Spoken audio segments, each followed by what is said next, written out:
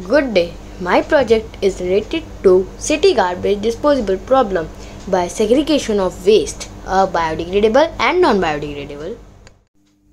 We should segregate waste at source level because it product environmental pollution. It reduce dumping of useful waste. Biodegradable waste can be used as compost for domestic purpose amount of waste landfill can be reduced. Plastic, paper and metal waste can be reduced and recycled for future. This is my garbage truck made up of hydraulic principle.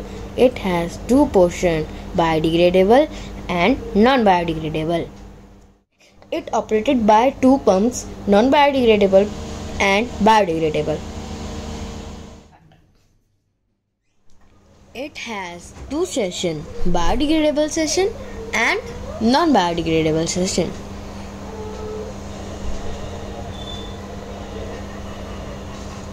It has two pump biodegradable pump and non-biodegradable pump. Now we start operating the biodegradable session to drain biodegradable garbage. And now operating non-biodegradable session to drain non-biodegradable waste. This is biodegradable waste and this is non-biodegradable waste. This truck operated by hydraulic system with two pumps. Thank you.